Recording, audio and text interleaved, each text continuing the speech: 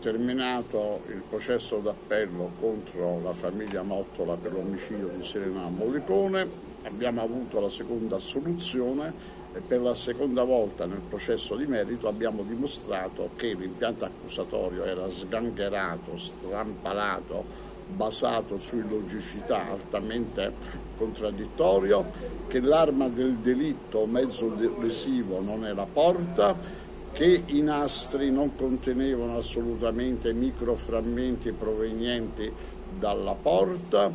che l'ipotesi che la povera Serena Mollicone sia stata sbattuta uh, contro la porta della caserma dei carabinieri, eccetera, eccetera, è una balla assoluta, è un innamoramento della tesi, è una congettura senza riscontri. Abbiamo dimostrato che tutti gli elementi di sospetto, che poi erano soltanto elementi di sospetto, circostanziali, situazionali nei confronti del maresciallo Mottola, non valevano assolutamente nulla e che Santino Tuzzi non ha visto assolutamente entrare Serena in caserma per andare, a recare, per andare da Marco Mottola. Quindi abbiamo smontato completamente l'impianto accusatorio. Ringraziamo i giudici della Corte d'Appello per la loro serenità, per la loro imparzialità, per la loro freddezza e ancora una volta abbiamo dimostrato che è sbagliato ragionare di pancia, innamorarsi delle congetture, strombazzarle come tesi dimostrate, mentre non è vero assolutamente,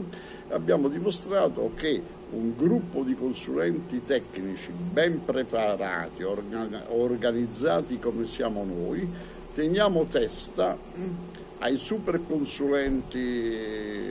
quelli nominati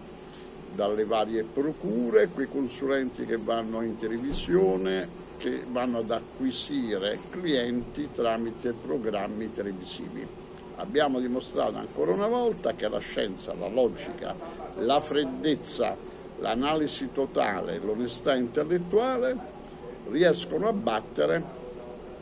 questi soggetti, questi fantasmi che si insinuano in processi per dimostrare chissà cosa e poi perdono. Grazie.